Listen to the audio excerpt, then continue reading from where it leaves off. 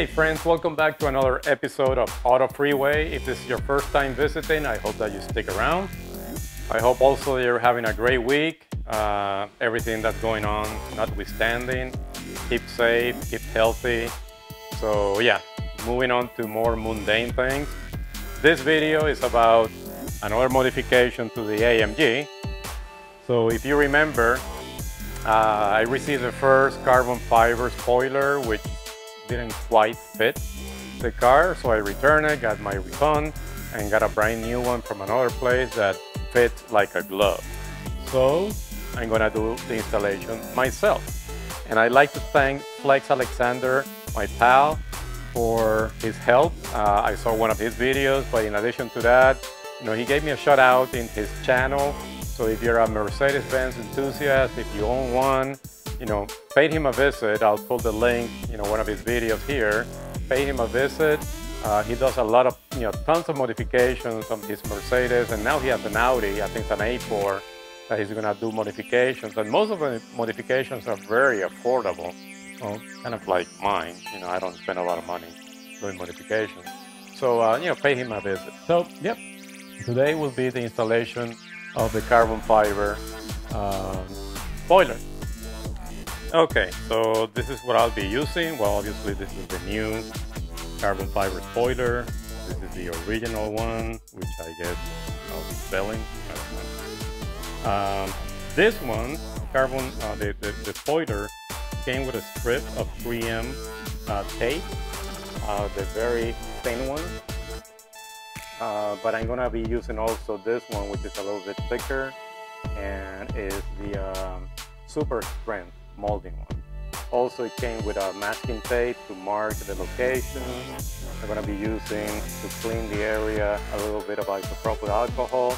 But before that, the uh, Armor Ultra Shine wipe, uh, just to you know clean the area. Then the um, the uh, isopropyl alcohol, and obviously a microfiber towel. And you know I'm gonna be heating up a little bit the um, tape with a heat gun, otherwise known as a hair dryer. I don't have a heat gun. Okay, so first cleaning the area with the wipe. And this is going to be kind of a challenging job for me because, you know, installing the uh, spoiler on the wrap basically means you don't have, you know, room for error. You have to do it right the first time because otherwise if you lift it, you're gonna lift the wrap also. So that's one thing that you know makes me nervous. But uh, as I said, uh, Flexx has some good um, tips on how to do it. Not on not on wrap, on just you know, regular metal, basically, or the car, the skin of the car. Um, so, but like it says, or like it like the uh, saying goes, you know, measure twice and don't make a mistake. Basically, so I'm gonna be measuring the center, which actually the, the star of the Mercedes helps me centering basically the spoiler because it is centered uh, to the car, you know, to the trunk. So, um, so yeah. Okay, so after cleaning it with the towel, with the wash, uh, wipe, I'm gonna spray a little bit of the uh, isopropyl alcohol. Don't want to do too much on the wrap. Actually, I don't know what effect it will have on the wrap. Hopefully none. So, yep. Okay, so using the masking tape, I basically uh, position the spoiler center to the star and I marked it off with the uh, masking tape also on the spoiler in the marks where I want it to be and the edges where they should be. My tolerance on either side is about one millimeter so I don't think anybody's gonna notice if it is not quite center but I think it is very center on the trunk. Okay so I clean the uh, back side of the spoiler with some more isopropyl alcohol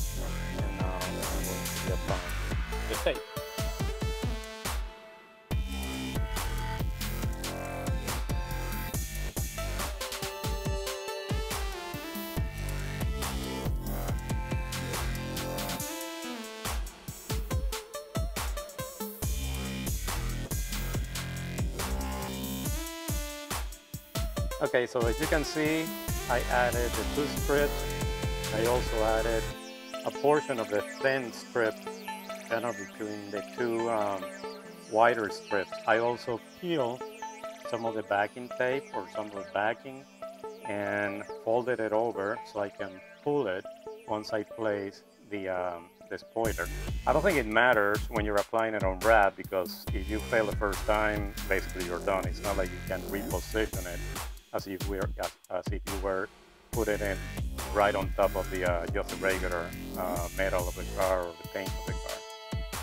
I'm also going to use, as I said, my handy heat gun, otherwise known as hair dryer, to heat up the uh, tape and make it even more sticky. I'm using the uh, extra hot setting and, and just briefly, I mean, I don't have to do it for a long time.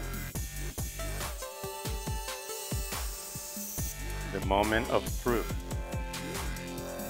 Either do it right the first time or I'll be wrapping again the back, the, the trunk. Right now I have everything aligned good.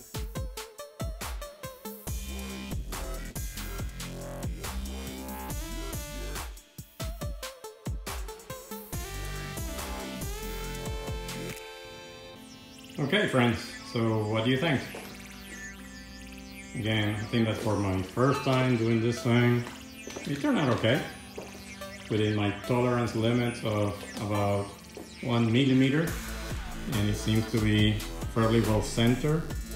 Uh, but I tell you one thing though, I was extremely nervous while putting it on because had I failed to center it properly and, you know, stock it properly to the trunk, that would have meant removing it, having to remove it, and then rewrapping basically, you know, the lid of the trunk.